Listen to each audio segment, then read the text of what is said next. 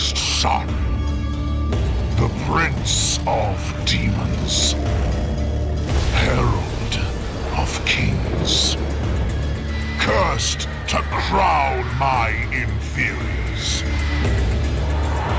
My vengeance will come.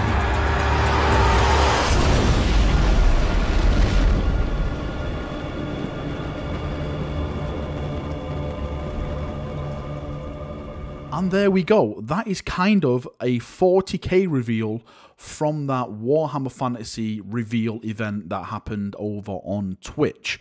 Now, you're probably wondering, how is that related to Warhammer 40,000?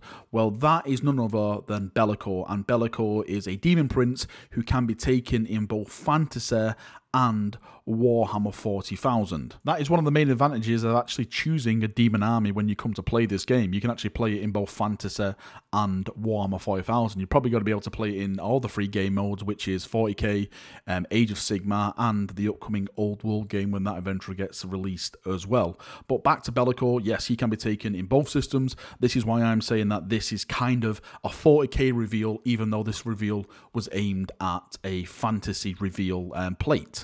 Now, when it comes to the model, they actually didn't reveal the entirety of the model. It was a tease, or as we were saying during the stream, they basically blueballed us. It was like when the Silent King first got his little teaser at the end of the 40k um, reveals. They just shown off bits of the model, and it was up to us then just to hype it up and talk about it and expect what it's going to look like. Now, with this one, we can see like the wings in the background, there's all skulls on it.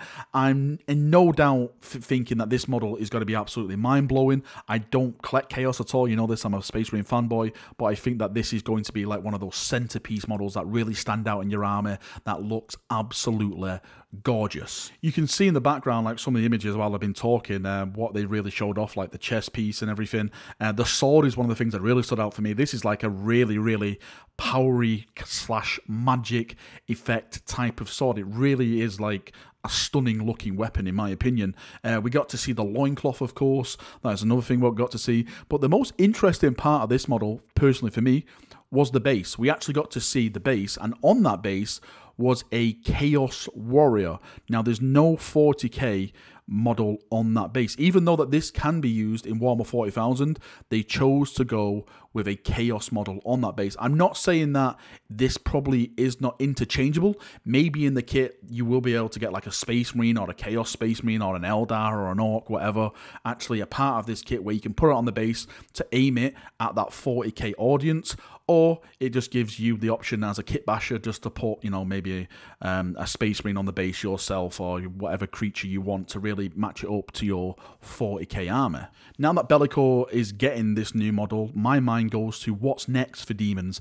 Again, as I said, you can use demons in AOS and 40k, so it makes sense for them to invest heavily into this range because it can affect both game systems, which means more sales for those systems. So when I think of it now, when I look at like some of the old demon designs, maybe you know we can get some new great demons, maybe some new characters actually added to this, which again can be taken in AOS and 40k.